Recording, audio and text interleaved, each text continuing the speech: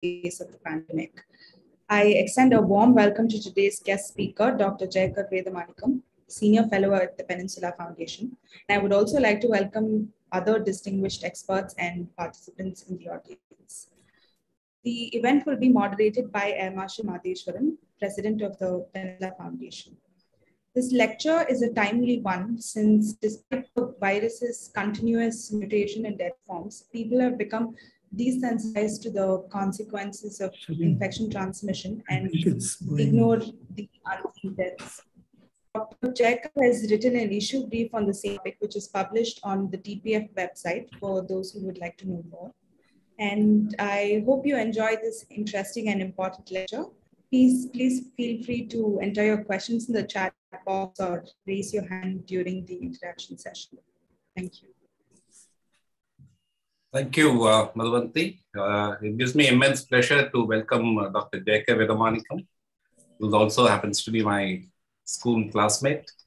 Uh, he's had a very illustrious career as an aeronautical engineer uh, with a background from uh, either alumni of the REC Trichy, and he's done his PhD from IIT Mumbai as well. he's headed the aerospace vertical in HAL Bangalore and thereafter I think he was CEO of IRAL, the Indo-Russian uh, joint venture in Nasik. Uh, he's uh, after retirement, he's moved on to you know looking at behavioral economics, and uh, immediately after retirement, he was director of the Xavier Institute of Management in Bangalore, and uh, thereafter he's now got on to uh, you know writing books as well as uh, getting deeper into the aspect of behavioral economics. Uh, today's uh, topic is very interesting. And for all of us, we know that the pandemic has changed our, our, lives really upside down over the last three years almost, two and a half years. And uh, we are still hoping now that the end of this, uh, you know, uh, virus is somewhat in sight, hopefully.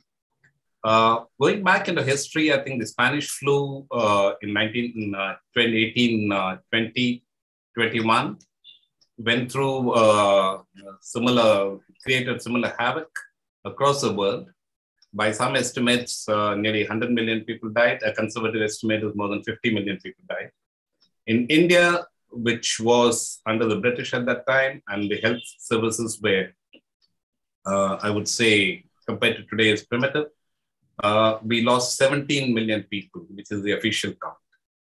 And uh, so pandemics tend to come in, you know, the virus comes in and uh, uh, the in various phases. The second phase tends to be the killer phase, which actually, you know, creates havoc. And that's exactly what happened the Spanish flu time as well. We saw that last year. And, uh, you, you know, uh, the pandemics have existed in human history throughout and there are lots of data that's available. So what Jacobs will be covering in this is to look at today's data tools and, and uh, statistical methods that are available to actually analyze how the infections can spread and therefore be more cautious. And the health departments can take those preventive actions to reduce the kind of, you know, fatalities as well as infection spreading. Last year, we one of the most contributing factors were the coinciding with the election time. We are having elections now as well. But last year, the second phase was on, and which is which I said as earlier is a killer phase, and we had massive, you know, electoral uh, election meetings, which I think contributed in a big way to the spread of the disease, including events like major, you know, events like Kumbh Mela, etc. So uh, uh, uh Dr. Jacob will cover these aspects and explain through the statistical process how it could have been actually, we could have been better. The idea is to learn from history, and, and thousands of years of pandemic data is still available. But nevertheless, you know, all nations, not just in India, most nations have uh, actually uh, failed to deal with it effectively. And that's a lesson that probably which he will bring out quite um, clearly in this talk. Without taking any more time, let me hand over to uh, Dr. J.K. Vedamanickam. J.K., all yours. Thank you, Marshal Matheswaran, for that wonderful introduction. of both me and the subject. And uh, as I speak, I'm going to certainly keep it as simple as possible because complicated statistics is complicated for me as well. And uh, so I'm, I'm presenting it from almost somebody uh, who has only a basic knowledge of school mathematics in order to arrive at uh, fairly far reaching conclusions. So I will go on to share my screen and uh, delve straight away into the subject. As Marshall Vardhaman mentioned, the subject topic looks very complicated infection, transmission footprint, uh, behavioral economics, nudge, etc., etc. Uh, so I will basically introduce the subject of behavioral economics and nudge, which are not very familiar terms, though each of them have a very far-reaching implication in, in, the, in, in uh, doing this. So what I will do is after introducing, I will introduce another point, which is uh, WYSIATI, W-Y-S-I-A-T-I, um, which stands, is an acronym for what you see is all there is. And uh, as um, uh, Air Marshal Matheswaran mentioned, um, over history, over thousands of years, we have not learned some aspects because of this phenomenon, which has recently been put forward. So I will, of course, introduce the infection transmission footprint and principles for estimating this. Fundamental principles, simple principles, and computation, as I mentioned, will be very, very simple, some multiplications and divisions, nothing more than that. And uh, we will also compute the ITF, which stands for infection transmission footprint, for a mass gathering event, such as an election rally. And then we will relate all this ITF to the consequences and why this metric could be important for steering policy.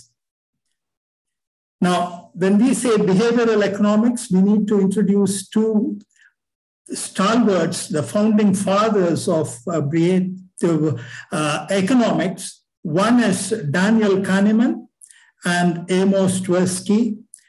Daniel Kahneman would go on to receive a Nobel Prize in economics, although he is actually a cognitive scientist.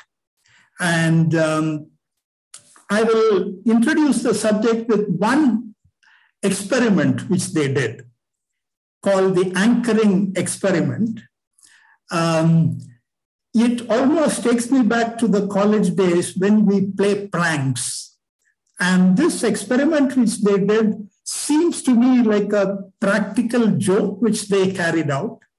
What they did was uh, they got a, a, a, a, fortune, a wheel of fortune. It's like a roulette wheel, but it goes uh, in like a giant wheel, a small uh, um, wheel of fortune, which has numbers between five, uh, zero, and hundred in steps of five, and they rig this to stop either at number 15 or number 10 or number 65.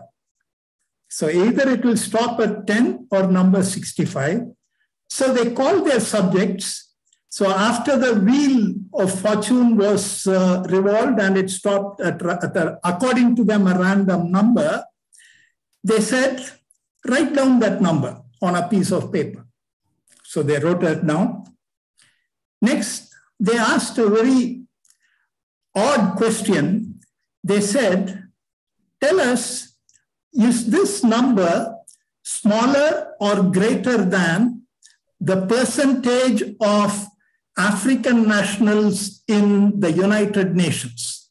The percentage of African nation, uh, uh, uh, nation countries in the United Nations is this number small or big, uh, greater or smaller? So each of them gave an answer. And uh, then they said, next, the third task is write down your best estimate of the number of African nations uh, or the percentage of African nations in the United States.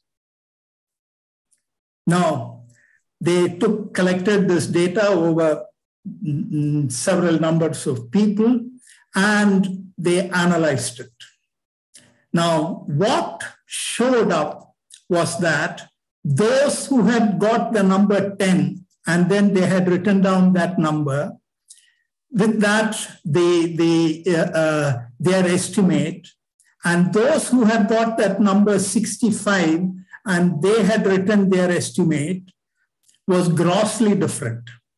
The average of those who had written the uh, who had written the random number 10, their estimate was 25%, whereas those who had got the random number of 65, their estimate was 45%.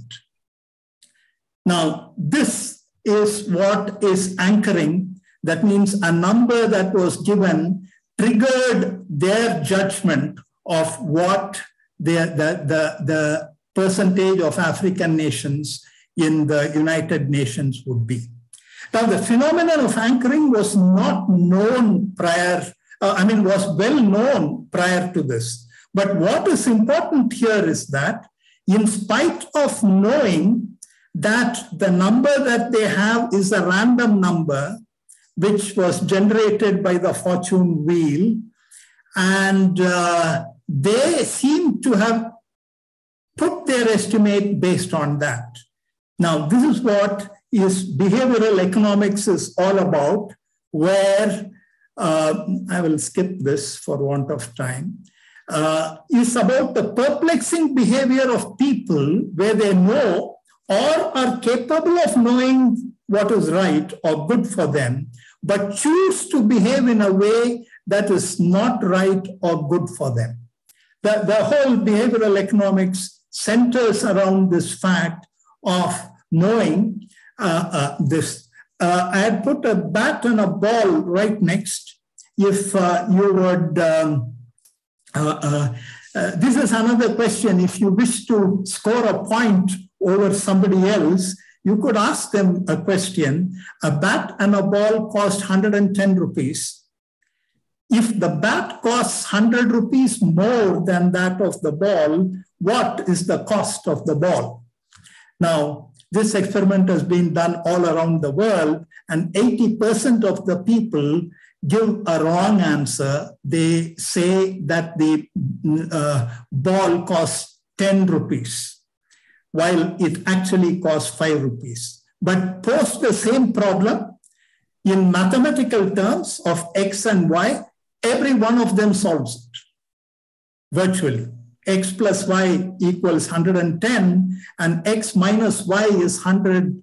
Uh, uh, they all come up with the right answer that y is 5. Um, now, this is where the, the, the, the, the perplexing behavior of they know what is right, but they don't know do what is right. Um, this is what another stalwart defines it as uh, the difference between what people should do and what they actually do. Okay, this is the prospect theory, which we will not delve into it, for which uh, Daniel Kahneman was awarded the Nobel Prize, which altered the fundamental theory of the uh, uh, um, the aspect of uh, Dan, what Daniel Bernoulli created of the theory of marginal utility. Um, and uh, by what, whatever he had found, and course, the Nobel Prize went to him.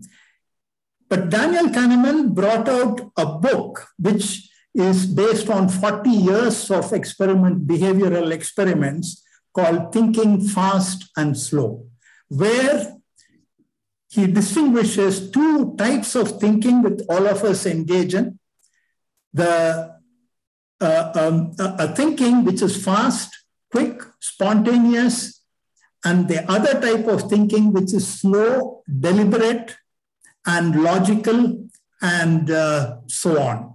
So, a good portion of psychology, the behaviors which have been observed, are explainable by these methods, and that's how the behavioral economics comes. And one of the biases which he says is the WYSIATI. What you see is all there is. Any information which is relevant but is not in front of you does not matter. That is the way. And he says, uh, a quote from him they didn't want more information that might spoil their story. We all make our own stories. Now, uh, okay, Richard Thaler, he also received the Nobel Prize for uh, economics more recently, about five, four, five years back. His PhD thesis was on putting a dollar value on saving a human life. So behavioral economics, he is a behavioral economics, and sometimes he is called the father of behavioral economics. And uh, it, it, he, it focuses on the attempt of measurement. And therefore, measurement is a, is a key to behavioral economics because our system one thinking does not translate reality and yet we need to take decisions. And that is why uh, the uh, he co-wrote a book along with uh, Cass Sunstein, who is a, a, mm, constitutional lawyer and a Harvard professor in uh, the US, um, they formulated uh, uh, um, the philosophy of libertarian paternalism. That means you give choice to the people, but don't force them. That's why it is uh, libertarian by the, a method called nudge. The title of the book they published is Nudge that one of the excellent examples of nudge is making an automatic enrollment. Suppose for a saving scheme, by default, if you have to enroll a certain amount, then you are nudging them. If they have to change it, then they would need to uh, uh, um, change the idea of, uh, they'll have to make an effort. Example, if uh, the 8% savings uh, through PF or contribution to PF is mandatory, normally we all save that way, at least till I was in service, that was the order. But then much later, I realized it is far better for me to have put uh, 16% or 20%. Now, if the automatic nudge would be when the person first signs the forms and puts it, the automatic is 20%. And then if you wish to change, make, you are, you have the freedom to change. You facilitate better decisions for individuals, society, and the world. Of course, this behavioral economics has been taken seriously and uh, during the Obama administration, and similarly in the UK, they formed various teams and a lot of contribution has come to society through these experiments. Um, okay, I will skip this because we, are, we will not have time to do the more important parts. Okay, my story comes from a personal incident as to why I'm thinking in terms of the, uh, the infection transmission footprint. Last year in summer, we always we frequent a place called uh, New Frosties, which is a, a, cold storage from where we buy meat, and very spacious place, large uh, cold storage. And uh, one day when we visited after the, the rules were relaxed, we found there used to be a couple also there who sell vegetables and fruits. Then the owner of the store told me they passed away. So this Kabir and Hasina, very lively couple, uh, uh, uh, selling their ware, with sometimes their children also helping them out. And um, we were surprised. And of course, they were the victims.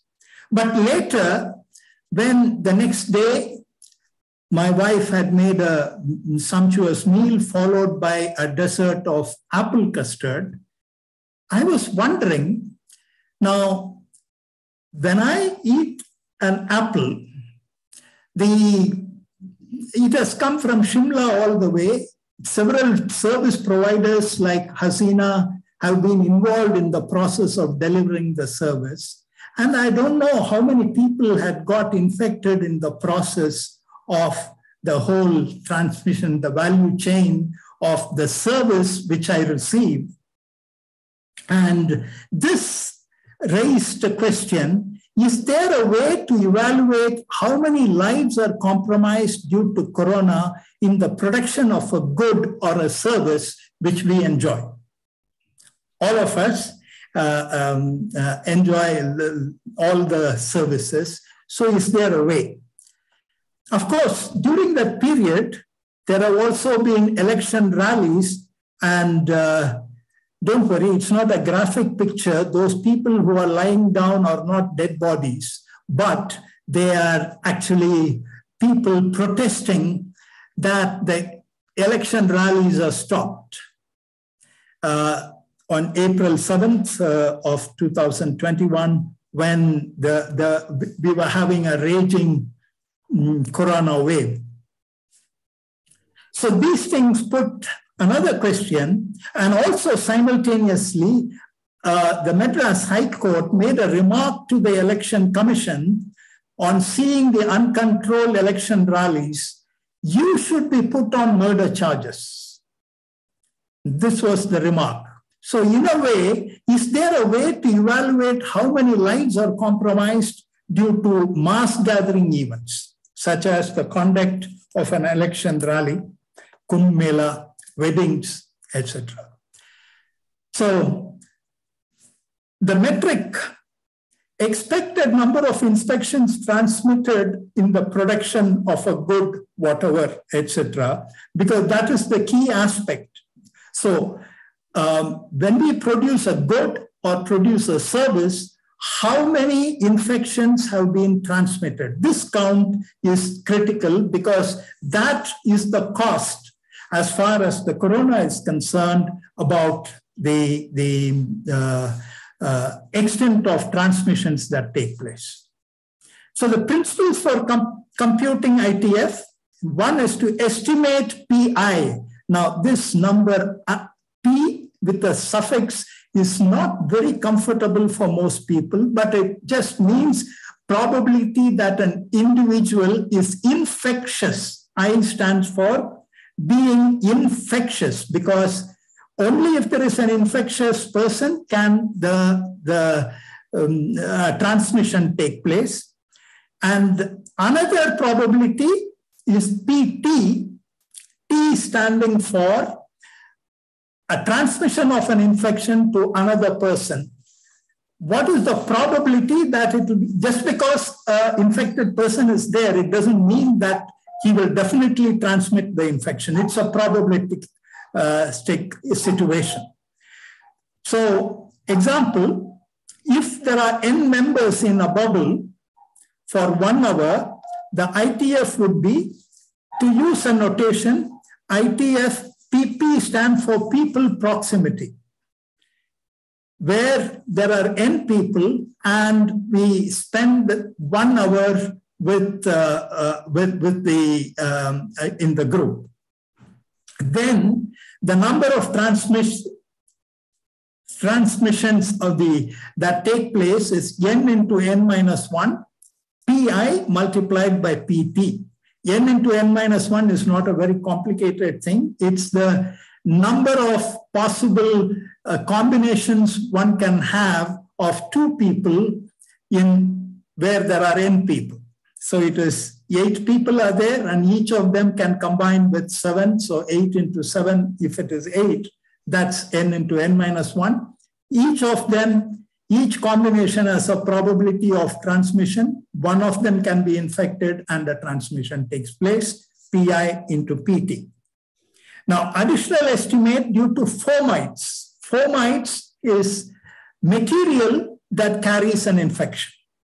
Now, fortunately, we can almost ignore this. Now, the latest uh, uh, uh, research shows that the transmission through fomites is relatively small compared to the transmission through aerosol and droplets.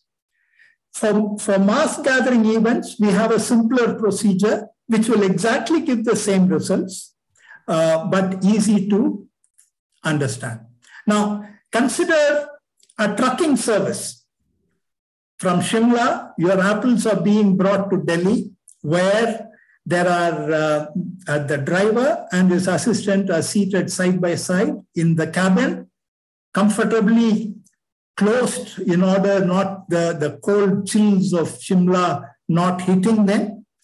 Now, how do we compute the, the the um, uh, infection transmission footprint for that part of the service which goes into the, the apples coming from Shimla. During the peak, our um, figures were of 4 lakhs is the daily reporting uh, of number of new corona cases. Therefore, uh, but we will consider a value of 70,000 as the daily reporting rate. Suppose on the day when they are traveling, the, uh, the uh, reported new cases in a day was 70,000. Now, number of infectious people would be three times that number. Why do I say that? Because people start infecting others even before they develop symptoms. In some of the studies, it says it is two days before the symptom. Some studies say three days. So we take a value of three. That means if the daily reporting is at 70,000 infections a day, the number of infectious people are three times who are floating around in the country. This figure is still very, very conservative because there are also people who are asymptomatic who also contribute to the transmission of infections. So simple. So population of India is 1.4 billion. Therefore, an estimate of someone chosen at random, if the probability that he is infectious is 1.5 into 10 power minus 4. Or how do we get that? It is uh, 1.4 into 10 power 9 is the population which we uh, uh, divide.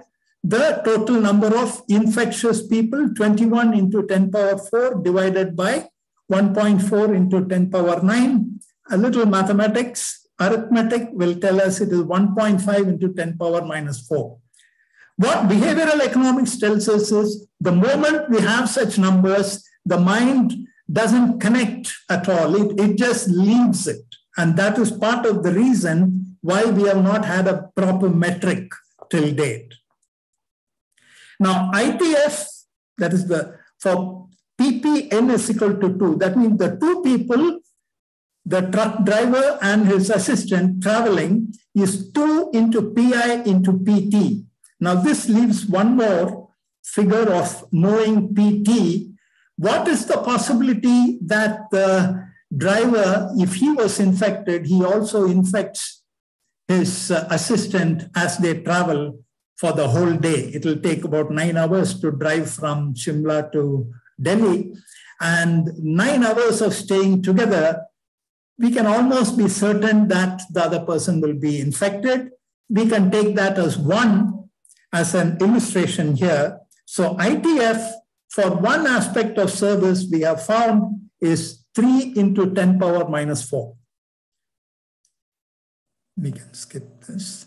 Now factors affecting PT, transmission, we said because here, but all services do not require a full day of uh, a person staying in proximity with another person. Therefore, the possibility of transmissions we find by the probability that an infectious person transmits the infections to another person depends on social distance, etc., but also depends on time spent in the bubble. So we resort to a simple curve, and uh, this is based on the Poisson arrival, a Poisson curve, uh, where on the x-axis you have time in hours, and in the y-axis the probability of a transmission taking place. Now, it's very clear that um, as the time increases, the risk of being uh, getting infected is more. But there are three curves. It, those factors depend on how serious, how well protected are they wearing a mask, how close they are, and the viral load of the person, and so on. And being random, there will always be all three aspects of that probability uh, uh, of all these three curves. Now, assuming, suppose you go to a, a hairdresser, you spend half an hour with him, we can well assume that it will be the red curve because you would be wearing your mask, he would be wearing his mask, and then the distance is okay. So if you spend half an hour, probably the risk of that transmission is only 0.2. Can you uh, see on the red line, which is the bottommost line, and against 0.5, which is not marked, but it's halfway down one. And if we cut it on the y-axis, 0.2 corresponds to this. And of course, in different situations, it will be different. So if we had a one person hairdressing done, um, you will have the, the infections transmitted, number of infections transmitted is a very small number, 0.6 into 10 power minus 4. Now, applying the same to the several people in a salon. Suppose you go to a big uh, hairdressing salon where there are four chairs and there are eight people, four service providers and four customers.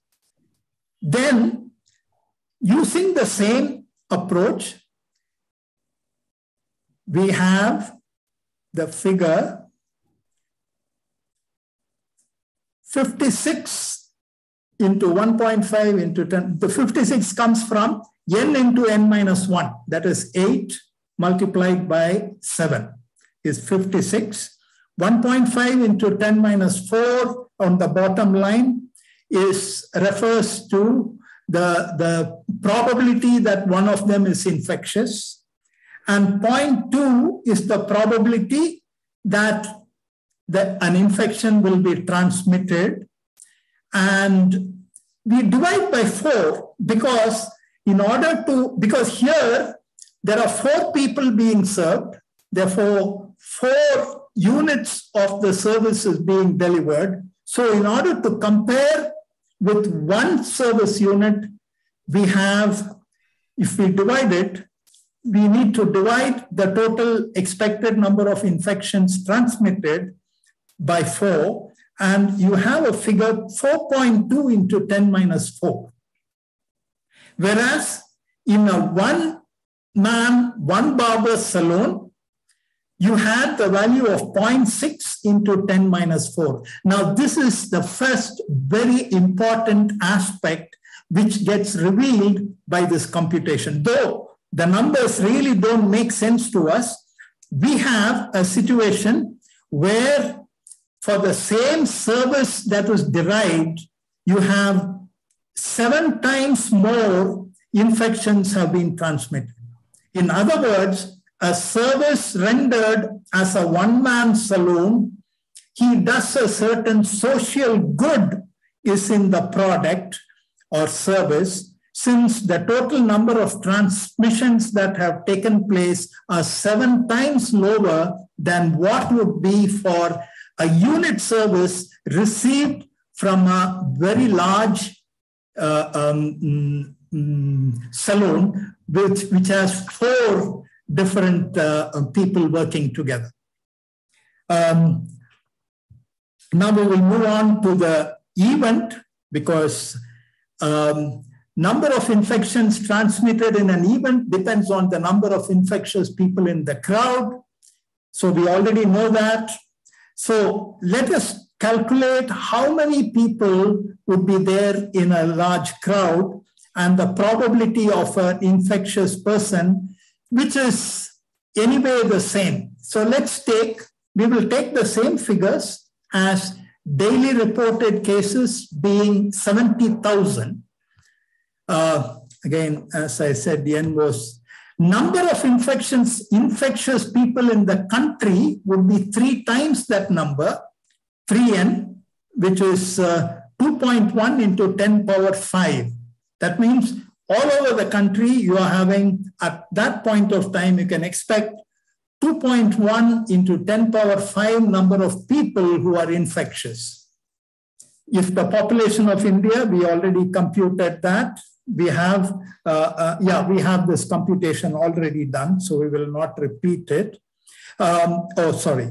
Um, if we consider that uh, there are number attending an election rally is 10,000 people. Absolutely not uncommon. It was much more in most cases. Expected number of infectious people in the crowd would be 10, 10 power 4, which is the number of people in the crowd, multiplied by the probability that any one of them is infectious, which is 1.5 into 10 power minus 4, and that is 1.5. In other words, in an election rally held sometime in March or April last year, when the corona was raging, about 1.5%, either 1 or 2% is only expected to have been infectious. Just about 1 or 2, which is a very small number. Uh, I'm sure mm, th- those who were pitching for that uh, uh, uh, it's a fundamental right of democracy to do election campaigns will be very happy to read this figure. On the other hand, Mamta Banerjee, who was pitching, who had stopped election campaigns, if she is listening to this, would find, oh my, did I make a mistake? After all, this is it. But the story is not over. Expected number of infectious people in the crowd is 1.5, uh, but the number of people they infect is what is the infection transmissions that have taken place during an election. It is 1.5 into expected number, one person infects. So this is the, a, a, typical picture of an election rally. Um, no social campaigning. And then we again apply this, this graph. Here we can be fairly certain there would be a few people who are in the blue graph who are very close to them. And there would be few, few people of that infection person in uh, just one of them in the crowd who will be at the green background and those who will be in the red curve. So if we model this, so we need to identify how many are so close that they are in the blue curve?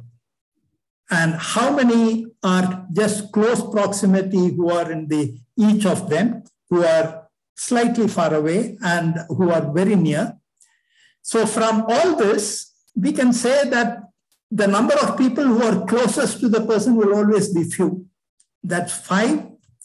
And then from very close to close in, in striking range is about 10. And again, a few who are a little far away, but still within striking range is about 18. And then the rest, that person uh, uh, will not have an influence on infecting them. So there are about uh, 33 people where there is a chance of them getting infected. And each of them will have a different probability. The five person who are standing close, if we uh, extrapolated from the curves, they will have about 0.8 possibility of getting infected. Those who are a little close, but not very close, they will have a lesser probability of 0.7. And those who are a little near will be 0.5 and the well-distanced people will not be infected. So if we compute the expected number to be infected, we will we get a value of 20. 5 multiplied by 0.8, of all the 5 who are very close to him, maybe 4 will get infected, not all. Those who are fairly close, about 7 will be, get infected, not all 10. And those who are a little away, about nine of them will get infected, but not all 18 who have been in the striking range. So the total expected number of infections would be 20. Now, the expected number of infectors in the crowd is 1.5. We don't know whether it is one or whether it is two, or it could be three people, off of them with a very light viral load, and so on. So the number of infections that are transmitted during the one and a half hours election rally per person is 20. Therefore, the total that is transmitted during the event is 30. That means 30 people have got infected during the one election rally, which has about 10,000 people. This again may still look comforting, and that is where the, the behavioral economics explanation of system one thinking and system two thinking is all about. Uh, this looks very comfortable because we don't see what we need to see. After all, for in such a major rally, just about 30 people got infected, while all over the country, lakhs of people are getting infected. This is a small number. But let's see in order to see the effect, please stay on in case anybody is moving because the, the uh, more important thing is coming with not very complicated. Another suffix you are seeing R0. Um, don't worry about that. It is a basic reproduction number. All that it means is on an average, an infected person, how many people does he infect? And for the corona, uh, it was of the order of 5 R0. But then RT is that R doesn't remain at 5 all along. It actually starts coming down. And uh, therefore, RT is defined as the reproduction number after the onset of the disease, when immunity tends to set in, when people have already got infected, and so on.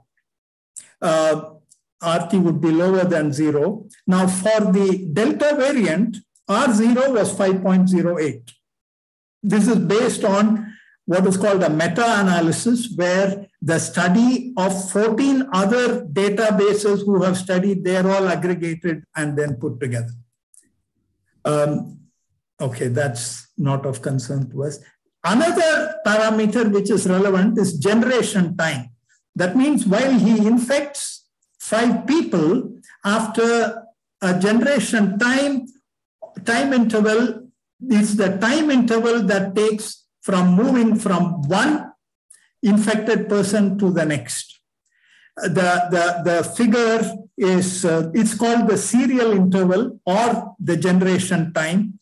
Uh, serial interval is the proxy for it because you know whether he's infected from symptoms. So from one symptom of the primary person to the next is the time, next person, which is 5.4 or 5.2. It's a small number. So now we see the impact. We have uh, six columns. Column number one gives the days after the infection. That means after five days, we have taken generation time of five days, R0 was 5, but we will not take 5. Uh, days after the infection, say for instance, zero days after the election rally, let's say the effective reproduction rate was three. We have not taken the R0 of five. We have taken that hopefully by that time things have come down.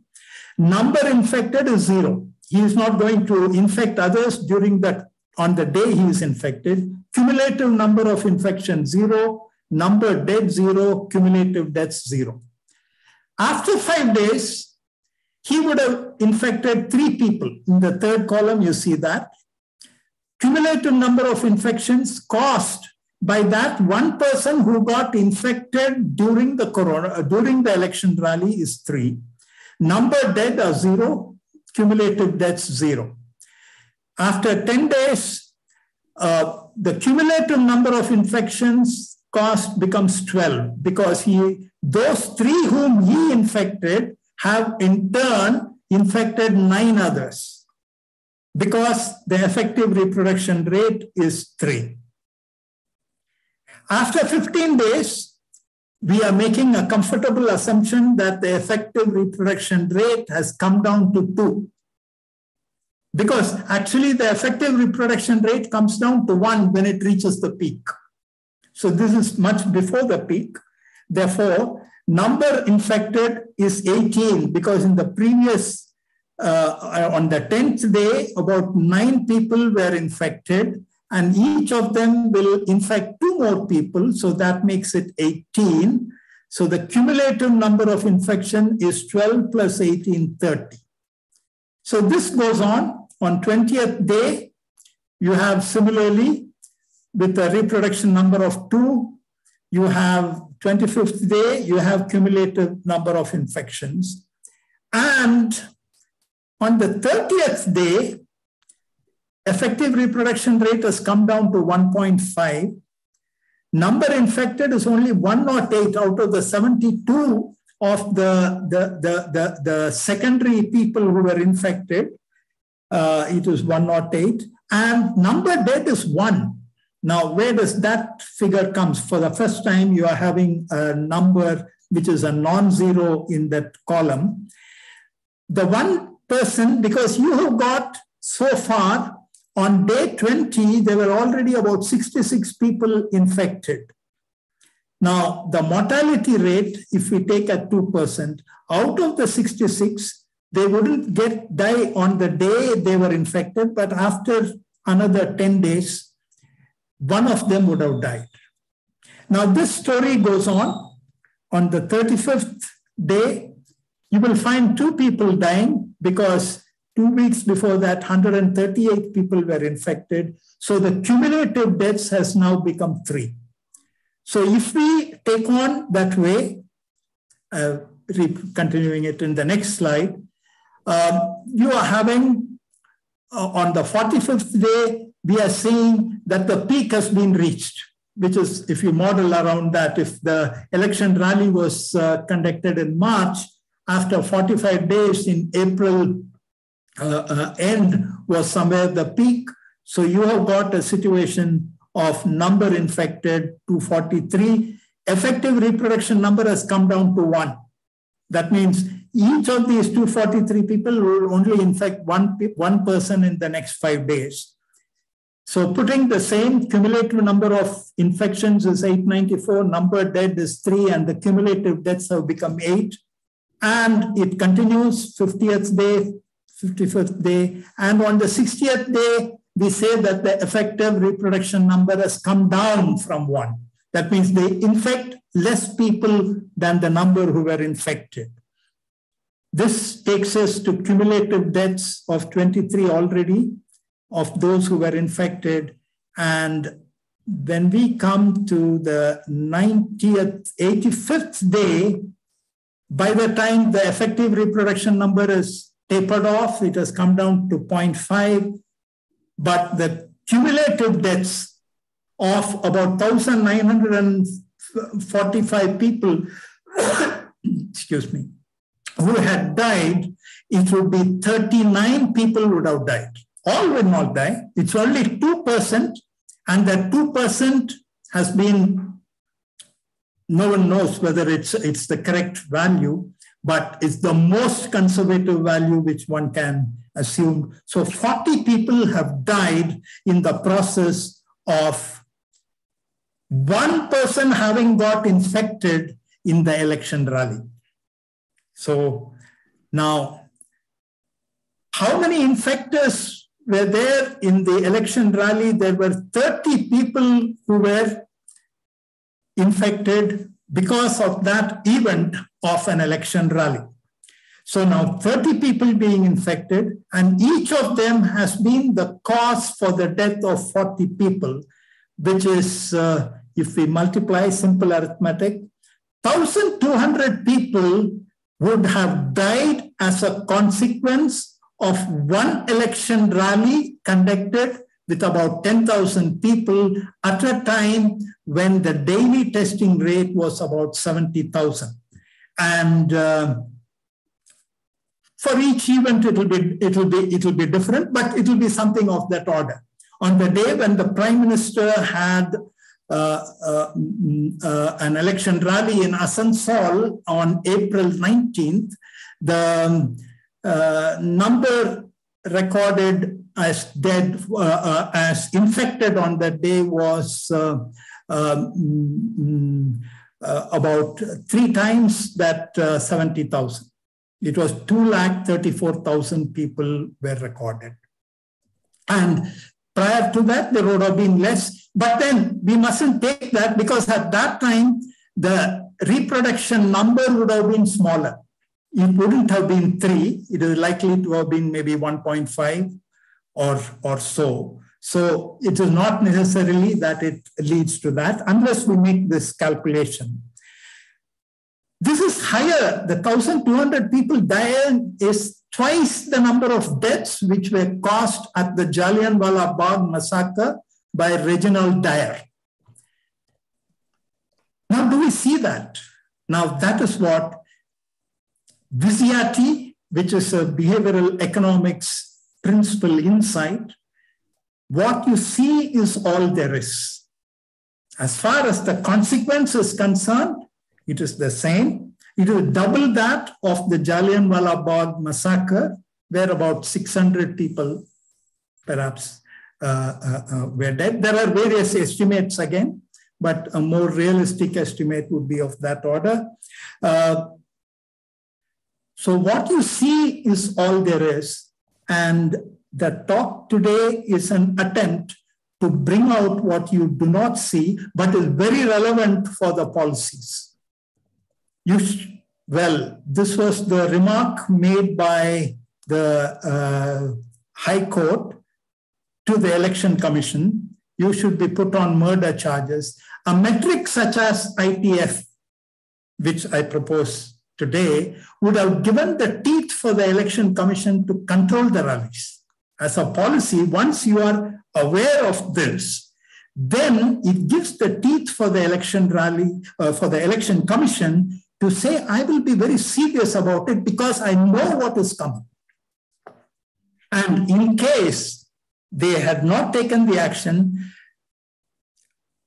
ITF would have given the grounds to try the election commission. That yes, this is what. Right now, we, we cannot blame any of them because there was no metric, there was no way of making a reasonably accurate computation. So behavioral economics has great potential to steer policy. And uh, in a general sense, we must work towards promoting the subject of behavioral economics. And in a more specific, we must promote metrics in such crucial areas such as computing the expected transmissions that have taken place in an event, extends to a product, a service. Yes, aircrafts are produced. There have been people who have got infected. So there is a cost. And like how the carbon footprint is measured to see what is not seen, a future environmental disaster, we measure, we pay a higher price to know clean energy and pay for it to produce cleaner energy. We, in other areas, in, in uh, when you consume food from a supermarket, you buy, in order to know what is coming, in order to prevent obesity, you are told what is the calories that are there, what is the fat content in a ground. Yes, the human nature is not to have see what is not there, but if we see it, we can steer policy towards better decisions. Thank you. And thanks for your attention. My email is there in case uh, people have more queries. Most welcome to uh, open a dialogue and uh, take this forward as well. Thank you, uh, Jeyakar. That's been an excellent, very insightful, and uh, extremely informative. Uh, I'm sure there would be a lot of questions uh, uh, from uh, the audience. So let me first open up to the audience and uh, uh, anyone who wants to raise a question now. What was that? Yeah, Jeyakar, uh, I mean, it's an eye opener for me huh? because I never thought of uh, mathematical modeling of uh, uh all this. Is total uh, eye opener. Uh, having said that, no, we are talking of our election rallies and we talk of our Kumbh Mela and everything. The world also is aware of this kind of modeling. Okay, how come, despite the, this kind of knowledge, there is so much of opposition to uh, protection and prevention? Yeah, especially in the uh, uh, more advanced countries, the, the, the, the, fact that they want to have their right over um, exercising their choice of how they do. Um, one of the figures I presented at the, at the point of beginning introducing behavioral economics is Cass Sunstein. Now, he was, he had a White House appointment during the Obama regime, a Harvard professor. Uh, he has given a, written a book called Risk and Reason. And in that, he brings about the meaningfulness of actually using all this. But the and uh, the idea of nudging that yes they will have to take it we won't impose on the individual but help them to see it and another recent research which he has done about three four years back what and uh, he has he talks about people prefer system two nudges to system one nudge that means a nudge uh, uh, uh, say automatically making an enrollment is a system one nudge, where you appeal to the emotion and the general habit of the person that, okay, I will go by the status quo. If the form says, yes, tick, ticket, rather than, okay, if I need to change my PF contribution, I will have to say no and then put in my new PF contribution, etc. Is a uh, um, so whereas if the system too much is explained to people what will happen, it's a long drawn process and people prefer that, but also it is seen that it doesn't really work, except so it, takes a lot of time to seriously understand. I'm sure, for, for instance, to, to understand the consequence of what happens after an election rally, one would have to sit down and go through the numbers and then, and uh, man by nature is more a system one person rather than a system two person. The, the emotions, uh, because system two thinking is all the thinking that calls for effort. And system one thinking is emotional, it, it uh, puts on only the uh, an impression, not the computation. Uh, just like how in the bat and ball problem, people apply their system one thinking and then come to the answer that it costs only 10 rupees. Uh, while they are capable of doing system two, but in order to draw that requires a lot of time and effort. but yeah. Jeyakar, I had an observation. Your talk was very interesting, insightful, and it very clearly suggests that we all should avoid crowds to the extent possible. My observation is that my limited two experiences with uh, service providers. One was with uh, Tata AIG. Uh, when I took my travel insurance, they gave me so-called uh, insurance schedule number, which I later on realized could not be used to put a you know claim. And half the people will not put the claim getting tired about it. In fact, myself got tired about it. Later on, when I wrote a letter, they said, no, no this is only a schedule number. You require a uh, policy number, which they did not give me. They did not give me the policy number. They did not give me the policy. And they had the audacity to say that we provide treatment for teeth which are new. They charge me for elderly people all the charges and the teeth filling had come out. The second case was with uh, Vodafone. Okay, I did not ask for two services: Star Talk, which was 49 rupees, Prime Video, which cost about 900 rupees. So when I complained that I did not ask for this uh, both the applications, they said, "Okay, we are removing Prime Video, but we cannot remove Star Talk," and they will refuse to talk to me. Three months happened like this. They kept charging me 49 rupees plus the you know interest for not paying the uh, uh in time. After making so many observations reporting to you know uh, highest level in telecom they removed 63 rupees. But they still landed up getting 200 rupees from me. Of course i could still fought it but there is a point till which a customer can fight so i'm saying that the corporations can employ a behavioral economist and they will come out with the policies which will exploit the workers so unfortunately we find that we are generating the knowledge but the knowledge is being used for benefiting the people who can employ the behavioral economist rather than the public. These are my quick thoughts. And it was terrible. I lived the pain of these services. Tata AIG, huge name. And they exploit the yeah. customer saying that, uh, no, mm, uh, they don't give the policy, they don't give the schedule after paying 31,000 rupees. Vodafone, I have been having the service of 15,000 rupees and they refuse to talk to me because, you know, they, somebody thinks it is 49 rupees.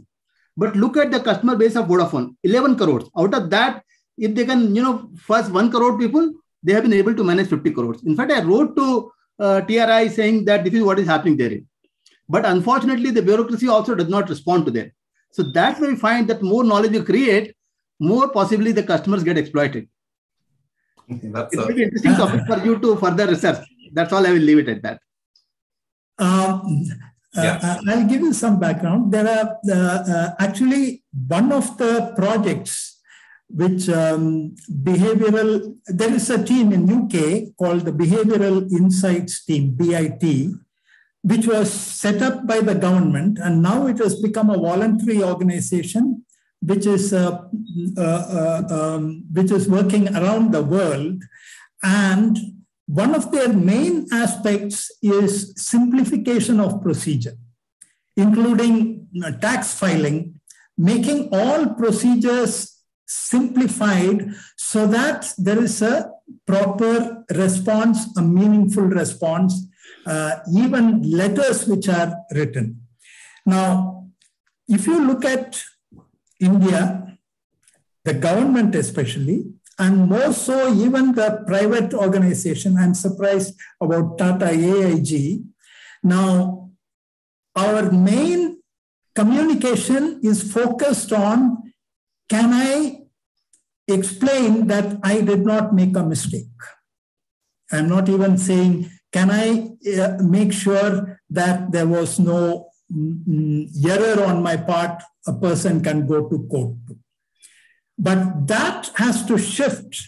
And that causes a lot of complications in the uh, uh, instead of uh, the the uh, the best behavioral response what you need. Yes, it it, it is a. I think as a country, as service providers, and as the government serving the people, we are at a very, very, very uh, uh, uh, low standards. We've already accepted very low standards. So mm, uh, that benchmark, if it has to go up, yes, uh, uh, definitely behavioral insights can give give importance. That actually brings to the point of government's responsibility, in, in both in terms of moral responsibility as well as the accountability. Uh, so I uh, go along with what Guru Prasad uh, Raghavendran has uh, also made a comment. The government would have known, you know, this uh, behavioral economics and the statistics that you've uh, put across, would, and I believe the health department should have been aware. But then, the at the same time, the electoral, you know, priorities and the benefits of running through the electioneering campaigns and the politics, the ex- political expediency overtakes what is logically evident through the behavioral economic study that we presented. So if you look at Kumbh again, it had a political as well as a religious benefit in terms of uh, accruing to the uh, party concerned. And therefore, lakhs and lakhs at the peak of the time, they're actually congregating in that place. So what do we make of it? That means despite the knowledge that's available that this is the way we should have actually implemented measures to control the pandemic. You actually take an expediency measure to actually take advantage of your political processes at that point of time and take a hit as it happened finally. People were running out of crematoriums and dead bodies are you know floating in the Ganges. But you say that that will pass and that people will forget. Is that the political process that's happening? And it happens in not in just our country. I, I believe it's happening in other countries as well. Uh, yes, um, uh, uh, if I can add, um, Guru Prasad's question that the government would have known, the government will certainly know that this as uh, is going to the spread of infection is going to be more as a consequence of that. But I very much doubt whether they would have known it in more concrete terms as okay, if this is the period and if an election campaign is held, it is going to result in the death of 40 people. And that may not have been explicit. And uh, as one of the, as, as the, the um, slide which says that, what Daniel Kahneman says, they didn't want more information that might spoil their story. The moment you have a number put and a logically analyzed uh, result as a consequence, that story is not what is wanted. But I'm also not very sure whether any, I could not uh, uncover any literature that had computed in this manner the infections transmitted, leading and the consequence of that.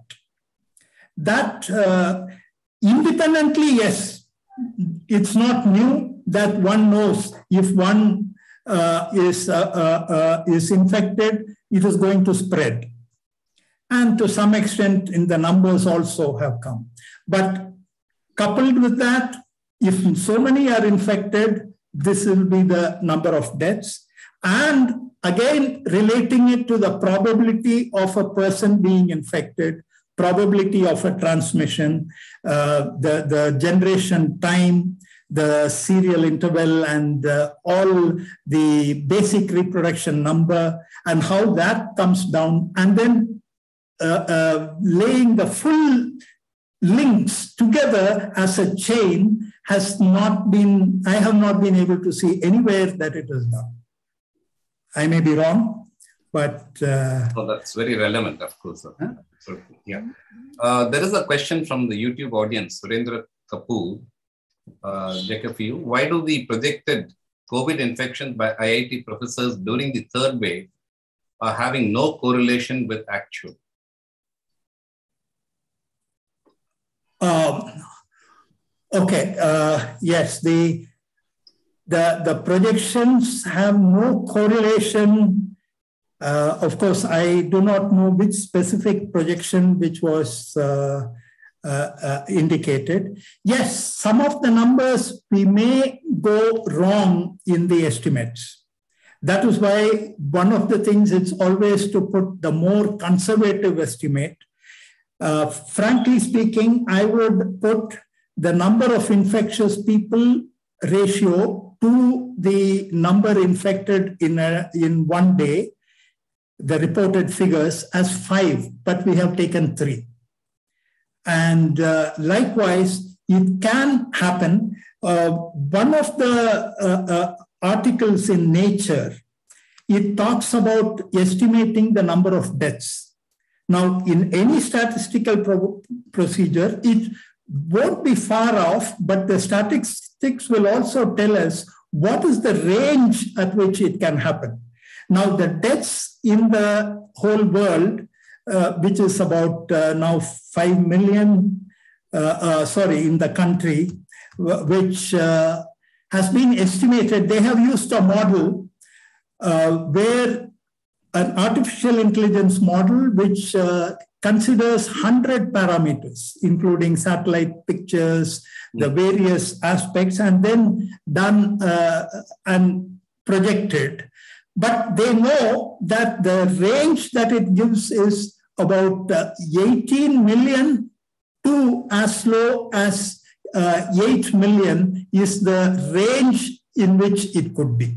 And of course, in because one does not, it's not easy to communicate it, especially in popular journals. One does not want to say that it was 16 million with a confidence interval of 95% confidence interval at 18 and 5% confidence interval at uh, uh, uh, 8 million and so on, which doesn't make sense. So they say that it is 18 million, but I'm sure the IIT professor who would have had it would have had a range, and it would have it would probably fall in one of those ranges. Can I make a comment? Yes, uh, Chandru. Yeah, Chandru, go ahead. Yeah, I think the person was talking about third wave. I think yes. the vaccination has come into play. Mm. So that could have changed a lot of things. And people are also started to wear masks uh, did social distancing, you know, uh, took them more seriously. So that could also have had an effect on various things. That's true, Chandru. And, and also, I suppose the third wave had uh, a lesser, I think, strength as compared to the second wave uh, for a variety of factors. I think uh, probably that could also be a major factor. I read the Nature uh, article, and uh, yes, Jacob, what you're saying is that the range is quite, you know, uh, anyway, I think uh, we can take one last question if anybody wants to ask a question, because we already overshot the time. But this has been an extremely interesting, uh, you know, uh, presentation. I have one question. Can I ask? Please, please go ahead, Mr. Janakira. Please go ahead. Professor Jeyakar, it was a very, very informative and revealing statistics. Uh, my question is, uh, even now, a lot of people talk about herd immunity and individual immunity. And uh, from your study, it is very clear this cannot be factored into. What is your opinion? Uh, herd immunity, actually the, the, the parameter R, the effective reproduction number, which I was uh, taking, takes into consideration the herd immunity that develops. The, the, the parameter R0 actually comes from population studies and the population growth studies of uh, uh, and genetics, taking into consideration how rabbits multiply and so on. So there, there was no need for taking R, uh, R0 was constant. But uh, when it comes to uh, things like this, R changes, and that is why the effective reproduction number is formally seen in all the research papers. They talk about R0, they also talk about effective reproduction number, and that effective reproduction number is a function of herd immunity, etc., etc., etc., and that is how it comes down, including changes in, in lifestyle, more consciousness of wearing masks, and those aspects. All that leads to electric, uh, the, the effective reproduction number. Uh, I don't have a whiteboard to show, but actually, if on the x axis, if you have the number of cases reported in a day, uh, um, uh, sorry, if on the x axis, if you have the calendar days, and on the y-axis, you have the number of cases reported. You will have a curve which, which will go over the hump and then come down. At the hump, the effective reproduction number is one, although the basic reproduction number would have been five. And actually, when it is low, when the when the number of cases is very low, the effective reproduction number is very high. But the phenomenon is not seen so much because there are only few people infected. You don't come to know of known cases. The seriousness of uh, taking preventive measures will be less. And uh, this, this can be modeled, and uh, yeah, yeah, many people have worked out the effective reproduction numbers based on which I have put the figures of 3 to 1.5 and so on, which we saw, which has been coming down in the in the in the table of how the number of people keeps increasing. Thank you so much. Thank you. That helped. So may I, sir? May I, sir? A Yeah, Neela. Very small one, rather. Yeah. Uh, uh, thank you, Mr. Jeyakar. So uh, it was very, very insightful, I would say.